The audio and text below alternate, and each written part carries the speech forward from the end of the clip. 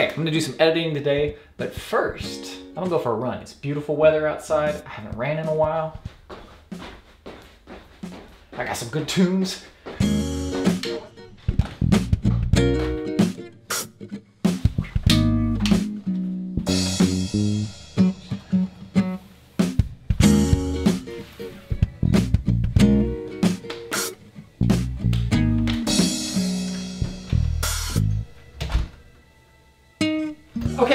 Excellent run. What were my stats today? 2.38 miles, 19 minutes, 21 seconds. Average pace, 807. But my first split was a 641. That's pretty fast. Not too bad, not too bad.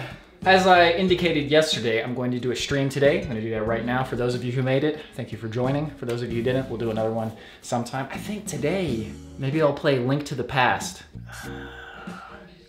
Yeah, we'll, we'll see. We'll see. I'm gonna decide after I eat. Okay, what are these? These are sugar pie pumpkins that I planted and grew. Um, we had 21. This is what's left. I gave some away and I cooked some. So why didn't you make watermelons? Well, I didn't know it was going to be that successful.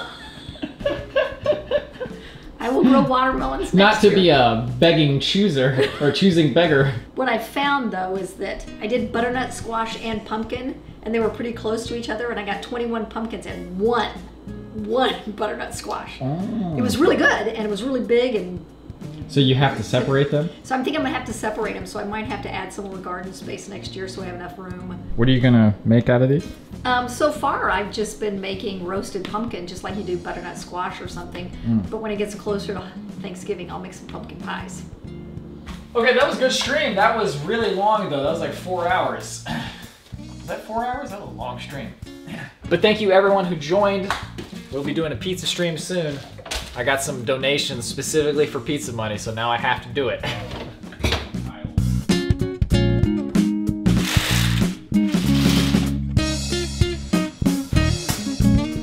So yesterday I engaged in a little procrastination, but today it's time to get work on some editing.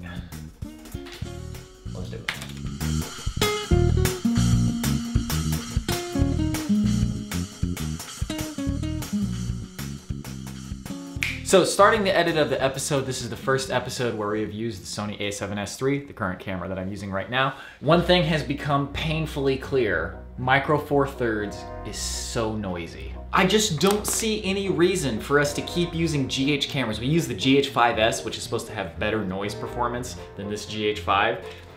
It's, it's no comparison. Full frame versus Micro Four Thirds. Anyway, looking at this footage, I'm like, yo, we gotta replace that and just roll with two Sony a7S3s every time. The one thing GH cameras are still better at is the manual touch focus. Look, you can just drag it.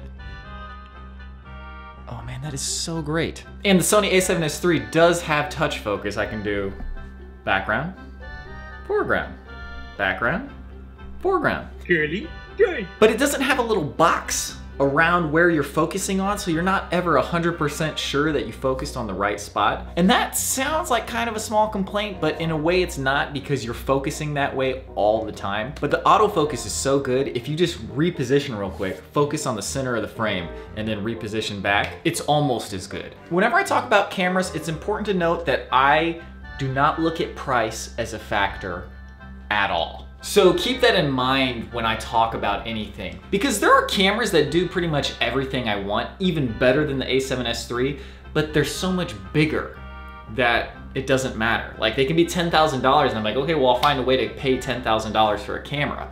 But if it's that big, that's one of my biggest points is it needs to be small and compact. A7S III is so perfect. It's mind-boggling. And mind-boggling.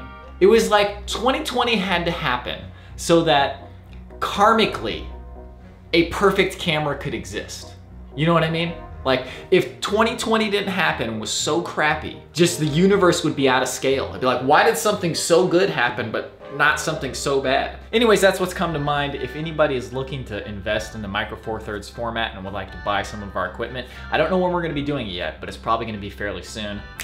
Let me know.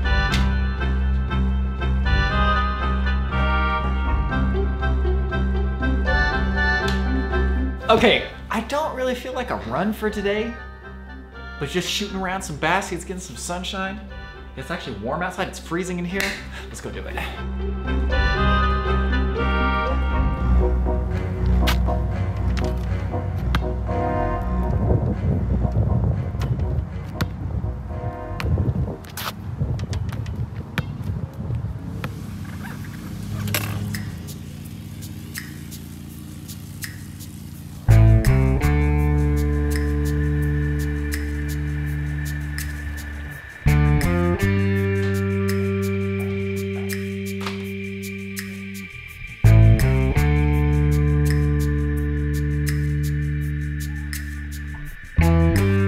Okay, so I pre-ordered this ages ago, and I've been waiting for this to show up for so long. This is the type of thing that I don't get often, but over the years you get it every now and then, and then eventually you have a whole shelf full of stuff. This right here is the Final Fantasy VII Polygon Figures box set. Oh, oh mama. First up, my boy, my boy Cloud. Oh my god, these are so great. Holy cow. Oh man, that is glorious. Oh my god, dude, every single one I open is more exciting than the last. Barret, come on, man, look at those things.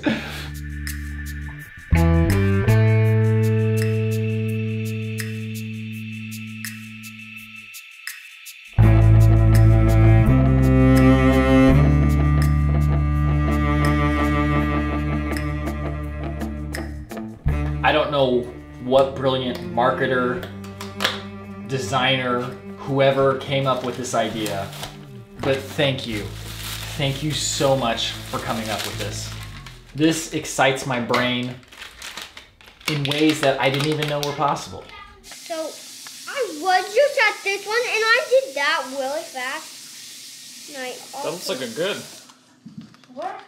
And then I did that We really fast, this. so I had to go back on the page and then I went That's back the here. start. Isn't that pretty crazy? Can I It's put not- these two? Okay, I've already got lots of editing done. The rough edits somehow always are just really long now. Like I'm not even through the first night and it's 18 minutes long. That's the general flow though, is you get everything in and then you can start to see where it needs to be trimmed. If you made a sculpture analogy, the first step would be putting all your clay in a pile and then whittling down. The clay's not already assembled, if that makes sense. That will do it for today's vlog, though. We will roll right into tomorrow, right now, or thank you for watching, and I'll see you in the next one.